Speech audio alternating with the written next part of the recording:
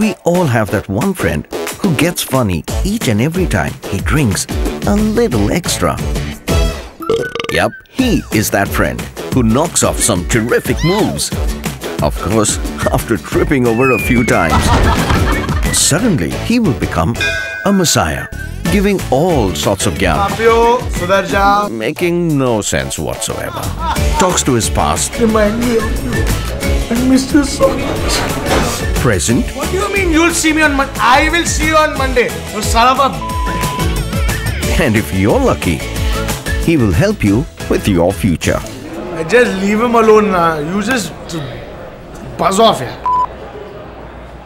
Tension मत ले यार भाई है तू मेरा दूसरी कोई मिल जाएगी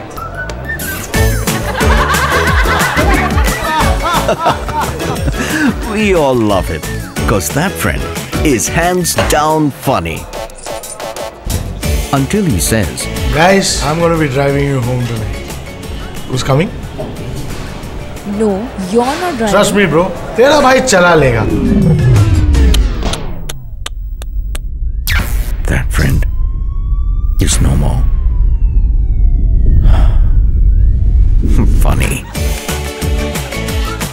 What?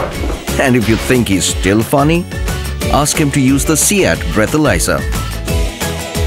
Make use of them or spread the word to someone who might need it. When it comes to drunken driving, always be that friend who allows no more guts, no more trust, no more cool, no more cute, and definitely no more funny. CEAT, safer grip on roads, safer grip on yourself. This video is subject to social media risks. You will sound like a friend who cares. Go through your friend list carefully before sharing this video.